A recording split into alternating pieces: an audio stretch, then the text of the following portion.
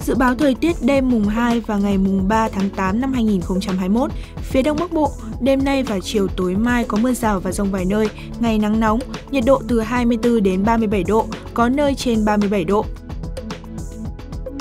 Phía Tây Bắc Bộ, đêm nay và chiều tối mai có mưa rào và rông vài nơi, ngày nắng, có nơi nắng nóng, nhiệt độ từ 23 đến 36 độ, có nơi trên 37 độ.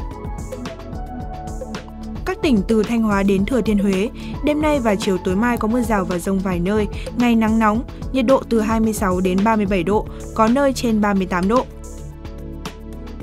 Các tỉnh từ Đà Nẵng đến Bình Thuận, đêm nay và chiều tối mai có mưa rào và rông vài nơi, ngày nắng nóng, nhiệt độ từ 27 đến 38 độ, riêng phía Bắc có nơi trên 39 độ.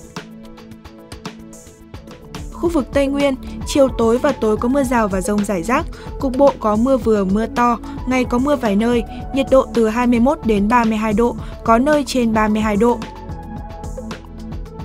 Khu vực Nam Bộ, chiều tối và tối có mưa rào và rông rải rác, cục bộ có mưa vừa mưa to, ngày có mưa rào và rông vài nơi, nhiệt độ từ 24 đến 33 độ. Thành phố Hồ Chí Minh có mưa rào và rông rải rác, nhiệt độ từ 27 đến 31 độ. Thủ đô Hà Nội, đêm nay và chiều tối mai có mưa rào và rông vài nơi, ngày nắng nóng, nhiệt độ từ 26 đến 37 độ.